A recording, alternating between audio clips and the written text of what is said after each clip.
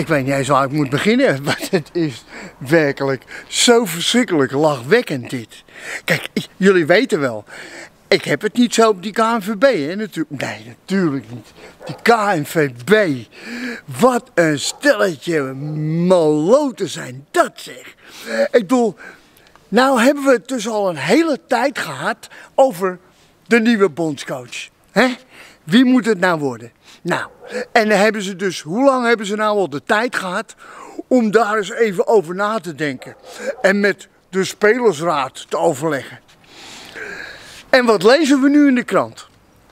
Vandaag, net, in de Telegraaf. Wat staat daar? De KNVB vangt bot bij Rijkaard. Ja, hè, hè, hè, hè, hè. Ja, ja, KNVB, hoe is het mogelijk dat je bot vangt bij Frank Rijkaard? Frank Rijkaard is al gestopt met het trainersvak in 2013. Toen stopte hij. Toen was hij klaar, was hij daar geweest in Saudi-Arabië. De zakken helemaal volgestouwd met dollars, en met die oliedollars. En die zei nooit meer, ik wil er niks meer mee te maken hebben met het voetbal. En dat is ook Rijkaard, want Rijkaard, dat is een hele eigenzinnige figuur. Die heb ik regelmatig meegemaakt. Als verslaggever was hij bondscoach van het Nederlands elftal. En dat is, ja natuurlijk, een beetje een eigenheimer. Dat is hij, een vreemde eigenheimer. Dat woord moet ik eraan toevoegen, bij onze Frank. Ja, en die had, die had al een beetje een soort hele rare verhouding met dat voetbal.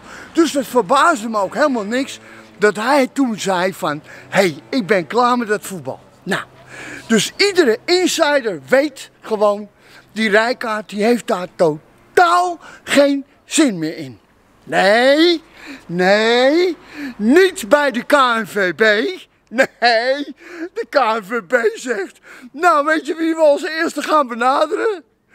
Frank Rijkaard, ja natuurlijk, dat gaan we doen. Ja, en dan zegt Frank Rijkaard, heel droog, maar ook heel kort. Geen denken aan, dat doe ik niet. Nee, natuurlijk niet, want die heeft daar geen zin in. Je hebt geen zin meer in het voetbal, geen zin in het hele circus, met al die media en al dat gedoe. Heeft die man totaal geen zin meer in. Klaar.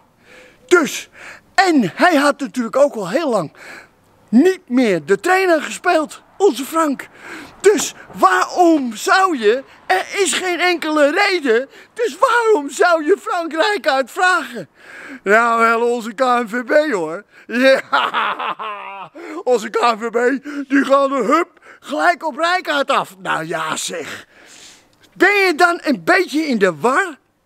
Ben je dan niet goed bij je hoofd? Inderdaad, dat ben je. En nog even wat. Wat denk je ervan voor de volgende kandidaten? Hé, hey, je bent geen eerste keus. Nee, dat hebben we nu al verziekt. Dankjewel KNVB, dankjewel. Dus wie je nu verder nog benadert, hé, hey, het is tweede, derde of vierde keus. Dat is het. Dus Henk ten Katen, die wilde de spelers hebben. Spelersraad had gezegd, ten Katen, doe maar. Die gaan ze dan nu misschien benaderen. En die is dan tweede keus en huppatee. Dankjewel, dankjewel. En daar is Henk ter Katen dan blij mee. Nou, ik denk het niet, hè. Ik denk het niet, KNVB. Nou, dat hebben jullie dan al lekker verknald. Die hele procedure. Top gedaan. Ga zo door.